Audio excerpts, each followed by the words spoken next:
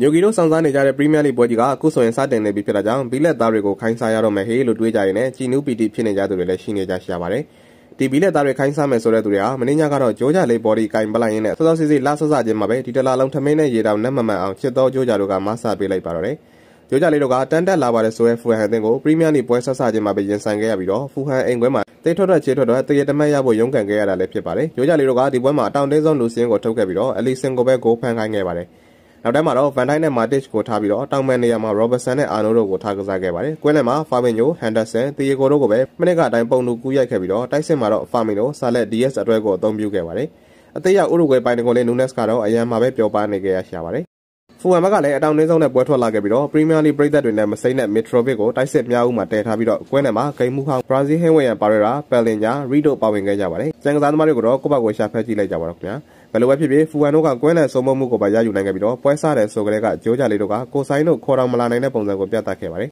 အဓိကအပြင်တောင်မန်က DS နဲ့ Family တို့နှစ်ယောက်စလုံးတိတ်မလုံနိုင်မနဲ့မာနေကိုလွမ်းအောင်လွမ်းကျင်စရာတွေဖြစ်ခဲ့ကြရှာပါတယ်။ Robertson နဲ့ Arnold တို့ကလည်းဒီနေ့ပွဲမှာ Fee ကျုံနဲ့ Smalling ဖြစ်နေခဲ့ကြပြီးတော့32မိနစ်မှာတည်းမဲ့ Arnold ရဲ့အကောင်းဘောကနေ Metrovic ကဥဆောင်ကိုသွင်းယူခဲ့ပါတယ်။ကိုမပေးရခင်ကအကောင်းဖြစ်နေတဲ့ဂျိုးကြလေးတို့ကကိုပေးခံလိုက်ရမှာအိတ်နေတော့ရင်းနဲ့လောင်းပြီးအနှိုးခံရတယ်လို့ဝုန်းကနေထလာမယ်လို့ထင်မိမယ်လေပြန်လာတာကတော့စိုက်ကားနဲ့ဆိုတော့နည်းနည်းလေးတော့ကြာနေခဲ့ပါတယ် ပထမပိုင်းကိုအရှုံးနဲ့ခရာမှုတ်ခံခဲ့ရတဲ့ဂျိုးကြတွေကဒုတိယပိုင်းမိနစ်90မှာတော့ဘရာဇီးဟင်းဝင်ရန်ကိုရှင်တိုက်ဖို့ဥရုဂွေးပိုင်တကုတ်ကိုဖာမီနိုနေရာမှာထည့်ပြီးကစားခဲ့ပါတယ်။ဒါအပြင်ပြော့နေတဲ့တရေကိုနေရာကိုလည်းအီလီယောကိုထည့်ပြီးတော့9မသိ9စက္ကန့်မကျပုံစံဖန်လာခဲ့ပါတယ်။ဖာမီညိုကိုလည်းထုတ်ပြီးတော့မိုင်လာကိုထက်ကဖူဝမ်ကွဲလက်ကိုတစ်ခုလုံးနှိပါရှိသမျှနဲ့တိုက်ပါတော့တယ်။ကံများကောင်းကျင်တော့ဥရုဂွေးပိုင်တကုတ်နဲ့ဘောလုံးက63မိနစ်မှာရောင်ရမ်းထိမိသွားပြီးတော့တကိုးတကိုးဖြစ်သွားခဲ့ပါတယ်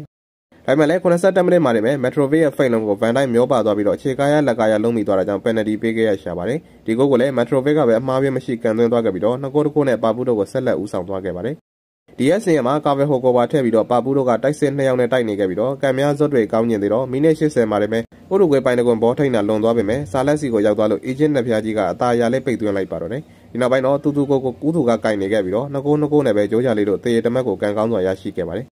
ဒီနေ့ပွဲကဂျိုးကြလေးတို့အတွက်မာနေကိုလွန်ရမယ့်တခြင်းတွေဆိုရမှာဖြစ်ပြီးတော့တန်တက်အသင်းက Real Madrid နီးနီးဂျိုးကြလေးတို့ကိုတီးထုတ်ခဲ့နိုင်ကြတာပါဂျိုးကြလေးတို့ကအဖွဲမလာခဲ့ပဲဖြစ်ခဲ့ရပြီးတော့ဂိုးတွေတောင်နောက်ကနေလိုက်သွင်းနေခဲ့ရတာပါဒါပေမဲ့ဂျိုးကြလေးတို့ကအချိန်တိုင်းပြန်လာနိုင်မယ်လို့ယုံကြည်နေကြသူတွေရှိပြီးတော့ဒီနေ့ပွဲကြောင့်စိတ်ဒုက္ခအဖြစ်အဆုံးကတော့မြန်မာနိုင်ငံကနေပြီးလက်သားတွေကိုခိုင်းစားတဲ့ပပူးဘော်ဒီသမားတွေပါပဲ